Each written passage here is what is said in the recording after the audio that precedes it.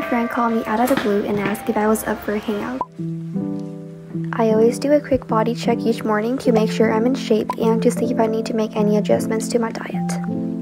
小 S 超正的女儿 Lily 全英文谱假日自律的一天。 Morning guys, it has definitely been a hot minute.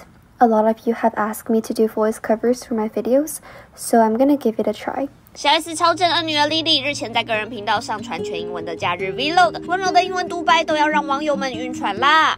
I always do a quick body check each morning to make sure I'm in shape and to see if I need to make any adjustments to my diet.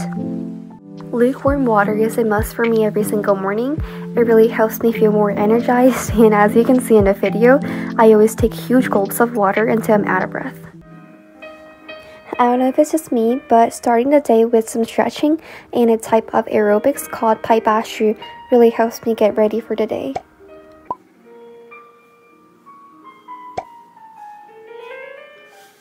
I'm gonna take my supplements before having brunch, which is collagen and chicken essence. You know, I always wake up so excited for brunch, especially when it's my favorite sesame and almond soup. Mmm, chef's kiss. I'm currently rereading this psychological novel I borrowed from my teacher.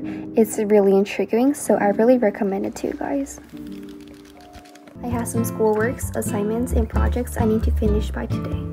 Even though this art piece I'm currently working on is for school, I find it really therapeutic to take some time out of the day to paint and listen to my favorite music. I love Hot Pot, it's always a solid 10 out of 10. The best part is my dad always helps us peel the shrimp and makes porridge at the end of dinner. So my friend called me out of the blue and asked if I was up for a hangout. Even though it was really unexpected, I'm super pumped about our last minute date. The weather is really nice today. It's not too humid, but it's definitely a bit windy.